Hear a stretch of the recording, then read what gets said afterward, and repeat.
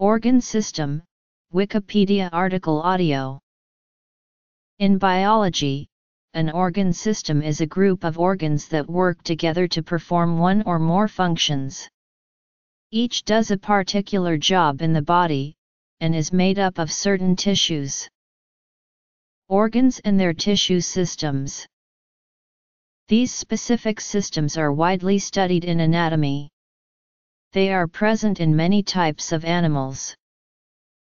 Circulatory system, pumping and channeling blood to and from the body and lungs with heart, blood, and blood vessels, integumentary system, skin, hair, fat, and nails, skeletal system, structural support and protection with bones, cartilage, ligaments and tendons, reproductive system, the sex organs, such as ovaries, fallopian tubes, uterus, vagina, mammary glands, testes, vas deferens, seminal vesicles, and prostate, digestive system, digestion and processing food with salivary glands, esophagus stomach, liver, gallbladder, pancreas, intestines, rectum, and anus, urinary system, kidneys, ureters, bladder, and urethra involved in fluid balance, electrolyte balance and excretion of urine,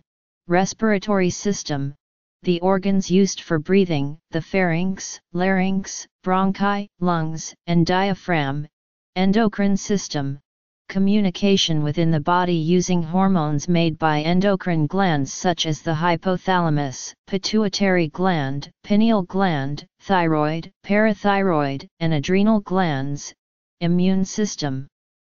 Protects the organism from foreign bodies, lymphatic system, the transfer of lymph between tissues and the bloodstream, includes the lymph and the nodes and vessels. The system includes the functions of immune responses and the development of antibodies.